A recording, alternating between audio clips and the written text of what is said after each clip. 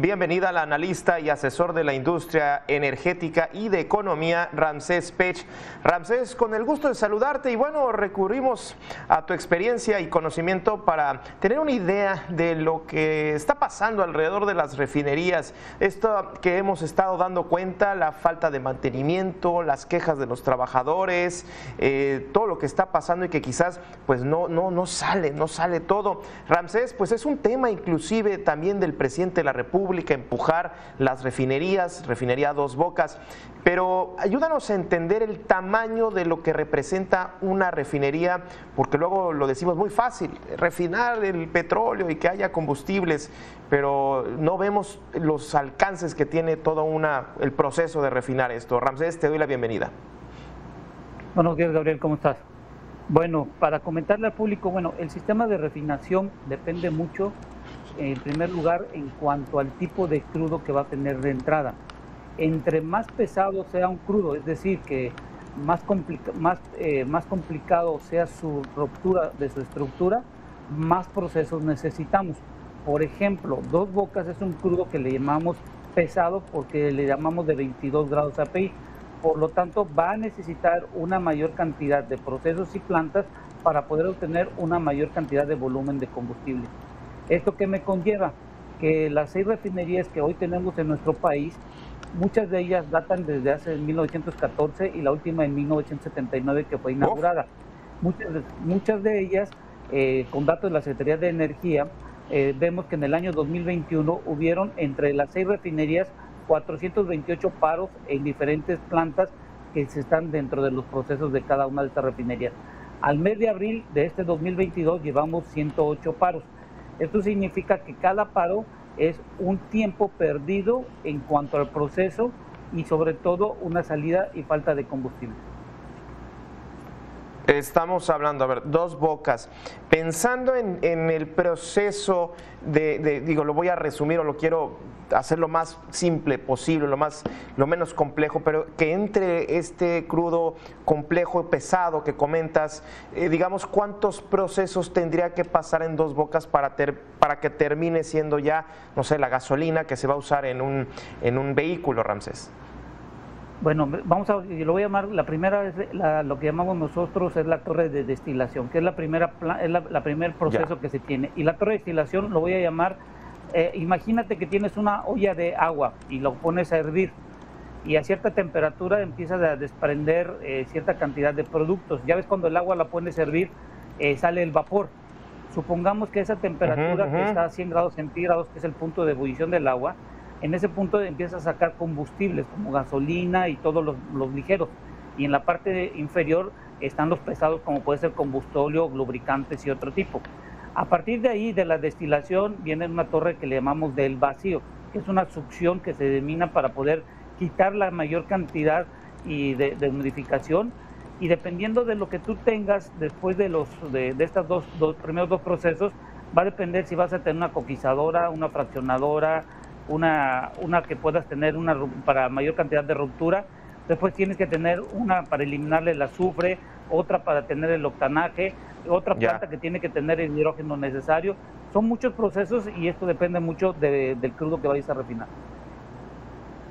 Ya, ya queda mucho más claro. Y es que, bueno, de pronto en el discurso presidencial se escucha todavía muy sencillo de que esto pues va a caminar muy bien. Ahora, regresando al tema que poníamos y que tú lo estás comentando hace un momento, ¿cómo afecta estos paros que se han venido dando, los propios accidentes que se han tenido en la propia producción? Porque pues hay inclusive algunas que tienen más de 70 años, eh, eh, Ramsés. Sí, mira, y creo que hay algo muy importante, y con datos vuelvo a repetir de la Secretaría de Energía, el promedio de utilización que se tenía de las seis refinerías en nuestro país es de alrededor del 44% al cierre del 2021. Ahorita el primer tercio de este año del 2022 ha subido casi al 52%, es decir, en cuatro meses la eficiencia ha subido un 7%, pero estamos lejos casi un 32% que, la, que el objetivo es llegar al 84% en el mes de diciembre. Entonces, ¿qué quiere indicar todo esto? Que la utilización de las refinerías va a depender, uno, del volumen disponible de crudo, dos, que se puedan mantener cuando menos 320 días sin fallas y operando más o menos entre el 80 y el 85%. Hoy todavía no podemos lograr esto y lo que estamos observando, de acuerdo a lo que hemos visto de las refinerías, va a ser muy complicado que pueda llegarse hasta el 84%. Yo creo que máximo va a ser a un 70%. Y ahí viene el problema. ¿Cómo le vamos a hacer para dejar de importar? Y un dato que hay que dejarle al público bien claro. Se ha dejado de importar una cierta cantidad en volumen de gasolina y de diésel, pero no por la condicionante de las refinerías, sino por la condicionante de la demanda que en el primer trimestre comparado con el antes de la pandemia casi está contraído entre un 30 y un 40% de los combustibles. Es decir, la demanda no ha regresado a los, a los valores que teníamos antes de la pandemia. Ya, se está produciendo además.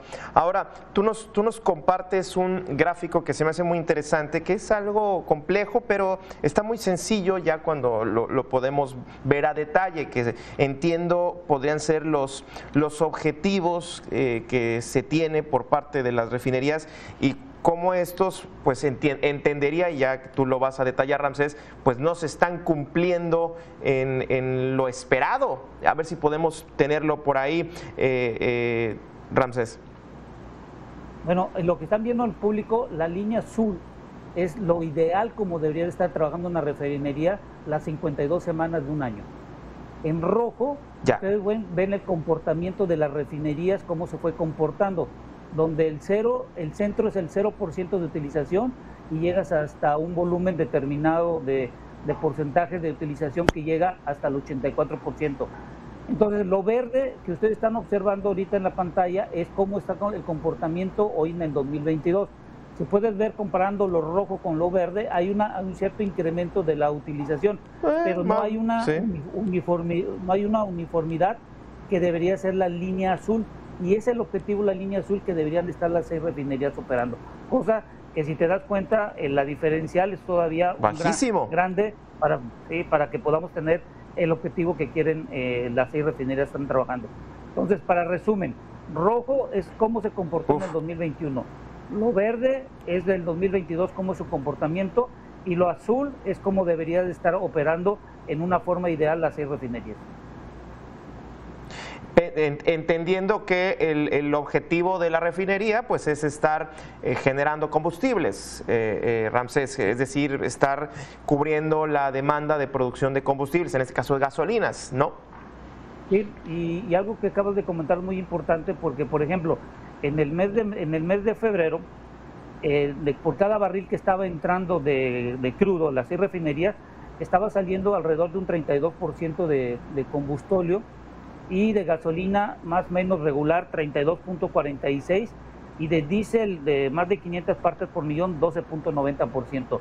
Eso significa que estamos teniendo una mayor cantidad de combustóleo y una menor, menor cantidad de productos de valor alto comercial como puede ser la gasolina y el diésel. Y diésel de bajo azufre solo están saliendo el 5.8% por cada entrada de barril. Oye, llama la atención que casi lo estoy viendo en mi computadora, por eso quizás van a ver que estoy en la pantalla, pero en la semana 7 hay un pico, hay un pico, pero igual hay una caída en el 2022 en la línea verde, pero también en la línea del 2021 también parece que se acomodan las dos caídas, los dos picos eh, hacia abajo. Eh, eh, esto, pues, ¿a qué se debe, Ramsés? Eh, es por el número de fallas que pueden haber uh, observadose en alguna de las refinerías. Hay otra estadística que se está llevando. Es decir, cuando tienes una falla, tienes una menor eficiencia porque pierdes el tiempo, o la otra puede ser que entre una menor cantidad de crudo a las refinerías comparado con ese periodo.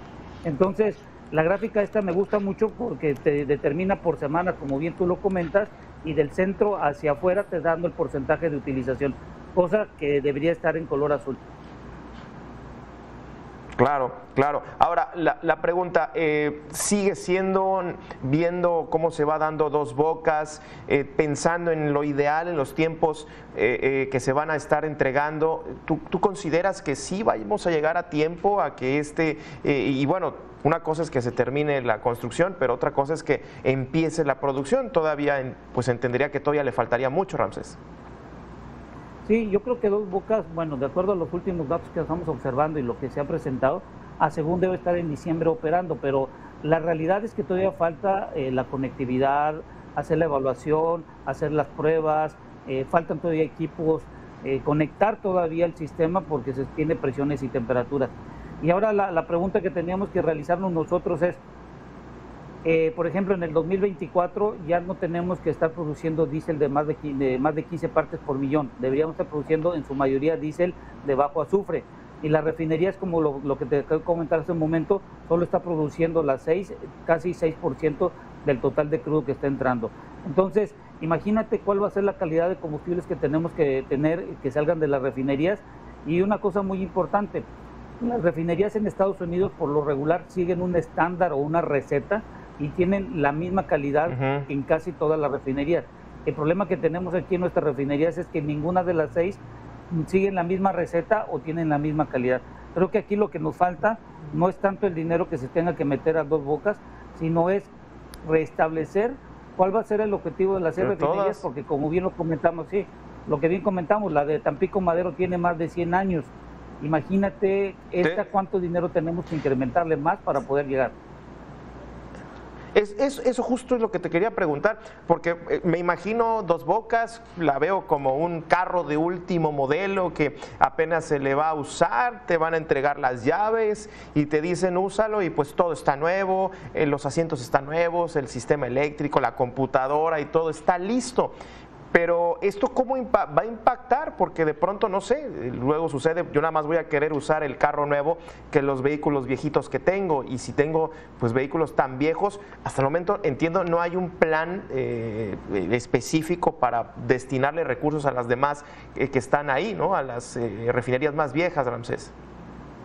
La refinería lo que se está haciendo ahorita es un mantenimiento preventivo y en algunos casos lo que llamamos el correctivo, es decir, cambiar un equipo, una bomba o algo por el estilo. Pero lo, que no se está haciendo en la refinería es la reconfiguración.